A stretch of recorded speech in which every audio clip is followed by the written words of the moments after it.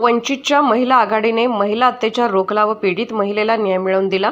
अकोला जिल्ह्यातील महिलांवरील अत्याचाराची मालिका थांबण्याचे किंवा कमी होण्याचे नाव घेता येत नाही आहे. त्यातच वंचित बहुजन आघाडी वगळता ही सतत महिला अत्याचारांच्या घटनांमध्ये त्या पीडित महिलेला न्याय देण्यासाठी धावून येत राहते. अकोला शहरातील डाबकी रोड पोलीस स्टेशन हद्दीत अशीच पुन्हा एक घटना घडली आहे. एक महिला अत्याचाराची घटना घडली आहे. सदर पीडितेला वाईट दृष्टीने व लगट साधण्याचा प्रयत्न आरोपी गेल्या सहा महिन्यांपासून करत होता पण सदर पीडिता विरोध करत असल्याने त्या पीडितेला भर रस्त्यात ऑटोतून ओढून मारहाण केली. सदर प्रकरणाची पोलीस तक्रार देण्यासाठी पीडिता का गेली म्हणून तिच्या घरी जाऊन तिला अमानुष मारहाण केली. पोलीस प्रशासनाने या गंभीर प्रकरणात हलगर्जीपणा दाखवल्यामुळे पीडित महिलेला न्याय मिळवून देण्यासाठी वंचित बहुजन महिला आघाडीने आक्रमक पवित्रा घेतला व त्या महिलेला न्याय दिला. तसेच एफ आय आर नोंदवून वाढीव विनयभंगाची कलम दाखल केली परंतु त्याला अटक होईपर्यंत वंचित बहुजन महिला आघाडी गप्प बसणार नाही असा इशारा यावेळी प्रदेश महासचिव माननीय अरुंधतीताई शिरसाट यांनी दिला.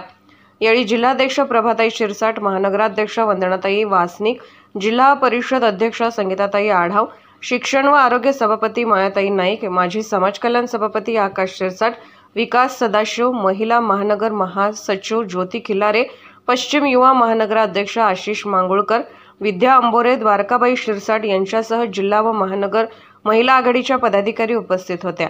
एबी न्यूज मराठीसाठी अकोलाहून प्रतिनिधी गुलाम मोहसिन.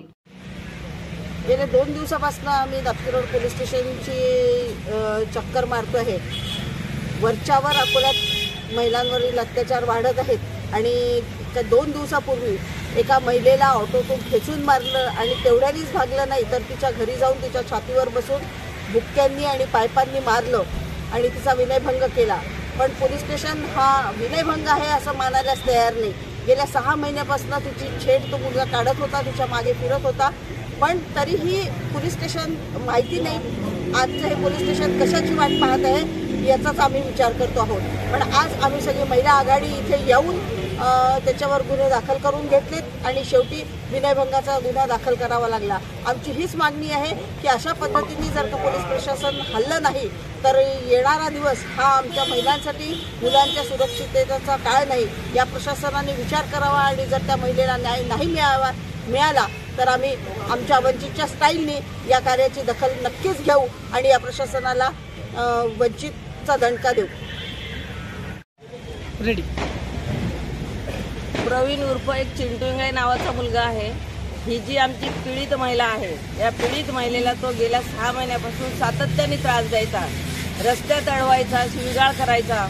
एक दिवशी तिने त्याच्या आईवडिलांना बोलवून ते प्रकरण मिटवण्याचा किंवा बा याला तुम्ही समजून सांगा असा प्रयत्न केला. परंतु त्यांनी कुठलीही समज घेतली नाही. उलट पक्षी एकतीस तारखेला रेल्वे स्टेशनवरून ते ऑटोमध्ये येत असताना त्यांनी त्या ऑटोमधून तिला खाली खेचलं आणि जबर मारा मारहाण केली. तिचा डोळासुद्धा फुटला. आणि मग तिने त्याच्यानंतर पोलीस स्टेशनमध्ये तक्रार केली रामदासपेठ पोलीस स्टेशनला. आणि मग त्याचा एक बदला म्हणून दुसऱ्या दिवशी तो परत तिच्या घरी गेला. घरी गेल्यानंतर त्यांनी लोखंडी पाईपने तिला खूप मारहाण केली. छातीवर बसून तिला खूप मारलं पाठीपोटावर सुद्धा खूप मारलं. मध्ये तिचा मुलगा आला तर मुलाला सुद्धा त्यांनी लोटपाट केली. आणि त्याच्यानंतर जेव्हा ती इथे पोलीस स्टेशनला तक्रार द्यायला आली तेव्हा खऱ्या अर्थी खरं म्हणजे तीनशे चौपन्नचा गुन्हा त्याच्यावर दाखल करायला पाहिजे होता खऱ्या अर्थी त्यांनी तो विनयभंग केलेला आहे. परंतु विनयभंगाचा गुन्हा त्या ठिकाणी दाखल केला नाही. कालपासून सातत्याने आम्ही या ठिकाणी डापकी रोड पोलीस स्टेशनमध्ये येतो आहे. इथं जे ठाणेदार आहेत किंवा इथले संबंधित कर्मचारी आम्ही त्या सगळ्यांना समज सांगितली समजावून सांगितलं की कशा पद्धतीने त्या मुलीवर अन्याय झाला.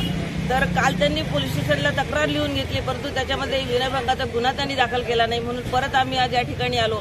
म्हणून अशाच पद्धतीने जर असे गुन्हे म्हणजे त्याला पाठीशी घालत गेले तर मग गुन्ह्याचं प्रमाण वाढत जाईल आणि महिलांवर अत्याचार वाढत जातील. म्हणून हे आम्ही आता याच्यानंतर खपवून घेणार नाही. असंच जर झालं त्या मुलीला जर त्या महिलेला न्याय मिळाला नाही तर वंचित बहुजन आघाडीच्या वतीने आम्ही एक तीव्र आंदोलन या ठिकाणी करणार आहे. आणि कोणत्याही परिस्थितीमध्ये आमच्या त्या महिलेला न्याय मिळाला पाहिजे अशी आमची मागणी आहे.